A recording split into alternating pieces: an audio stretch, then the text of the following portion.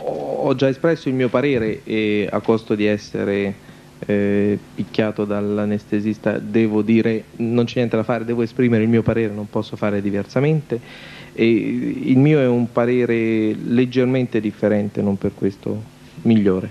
Eh, il, mh, io riterrei che eh, l'esistenza di un tesserino, e stavamo facendo il caso limite in cui questo tesserino può avere un valore eh, notevole, e cioè il tesserino appena compilato, cioè compilato da un, eh, da un tempo ragionevolmente breve e portato con sé in evidenza dal soggetto, e quindi cioè, che manifesti, come giustamente riferiva il dottor Micheli, non soltanto un, una chiara determinazione recente nell'espressione, nessun, nell'espressione di un certo parere e di una certa prognosi, ma anche una volontà di far sì che tutti sappiano oggi, giorno per giorno, non è dimenticato nel portafoglio, è portato con sé. Ecco, io credo che in questo caso quel presunto consenso alla eh, terapia congrua, eh, in onore, dicevo prima, al, eh, all'istinto di conservazione, si inverte.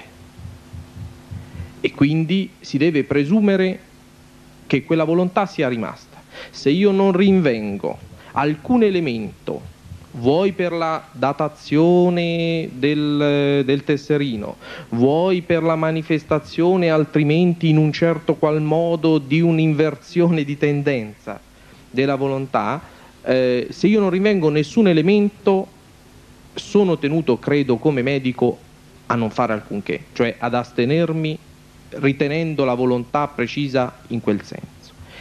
È pericoloso, non è... Eh, eh, è pericoloso far troppo riferimento alla scriminante putativa. Se si fa riferimento alla scriminante putativa si rischia di dire al medico, beh comunque se sei incerto vai, fai la trasfusione che tanto al massimo ti dicono che era stato di necessità. È pericoloso.